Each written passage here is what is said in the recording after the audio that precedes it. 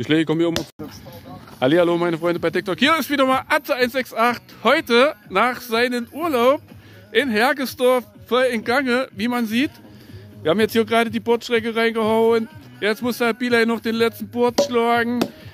Wenn wir das fertig haben, müssen wir bloß noch die Rückenstütze machen. Und Leute, dann ist schon wieder Feierabend. Weil jetzt zieht nämlich ein schweres Unwetter auf über Hergesdorf. Da müssen wir nochmal richtig Gas geben. Leute, ciao, ciao.